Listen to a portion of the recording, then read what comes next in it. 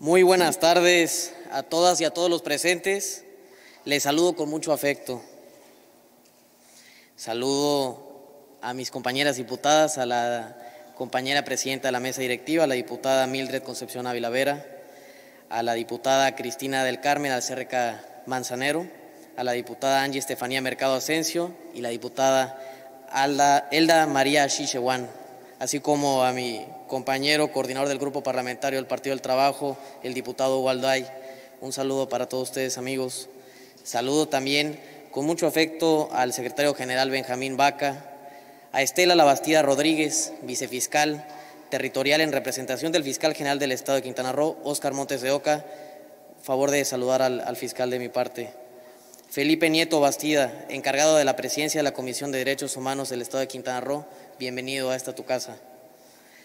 De igual forma agradezco eh, la presencia de los integrantes de este conversatorio, a los distinguidos maestro Walter Guardado Rauda, profesor de la Universidad Autónoma de Quintana Roo, al maestro Miguel Martínez Cabrera, analista político y amigo, maestro Jonathan Quintal Soler, autor del libro Actores de la Institucionalidad en Quintana Roo. De igual forma, quiero saludar a esta que es su casa y darles la bienvenida nuevamente a los jóvenes estudiantes de la Universidad Autónoma de Quintana Roo, la Universidad Modelo y del Instituto de Estudios Superiores para la Competitividad y el Desarrollo de América.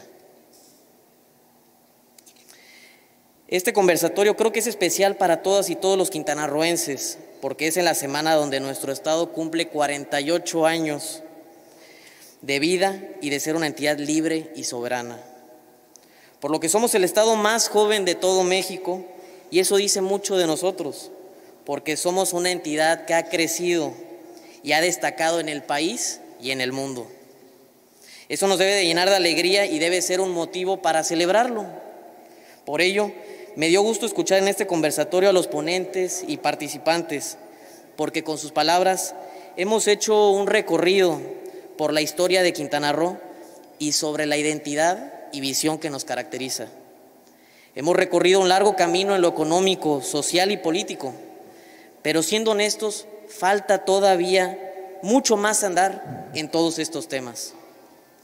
Y para mí, por la responsabilidad que tenemos como legisladores, nos corresponde evolucionar en la manera de hacer política para transformar a Quintana Roo y que el bienestar llegue a todos los rincones del Estado.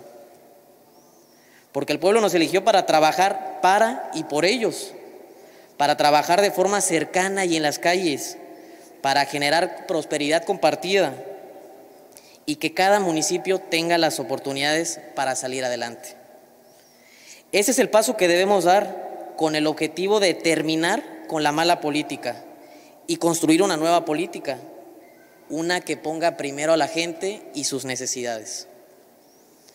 Esto es posible si trabajamos con los principios del presidente de la República, Andrés Manuel López Obrador, y de la gobernadora de nuestro estado, Mara Lezama no mentir, no robar y no traicionar al pueblo. Por mi parte, como, como cozumeleño, como diputado, como presidente de la Junta de Gobierno y Coordinación Política y como coordinador de la bancada del Partido Verde, pondré toda mi energía, capacidad y todo mi compromiso para hacer realidad esta nueva política.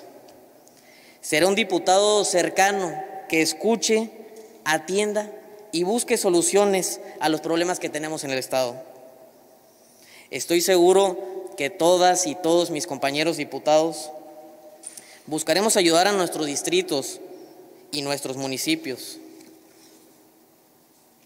Por eso, trabajaremos en equipo, porque solo así lograremos vencer los problemas y daremos bienestar a nuestro pueblo. Finalmente, agradezco de nuevo este conversatorio. Que viva Quintana Roo. Muchas gracias. Muchísimas gracias, diputado presidente. Lo invitamos a permanecer en el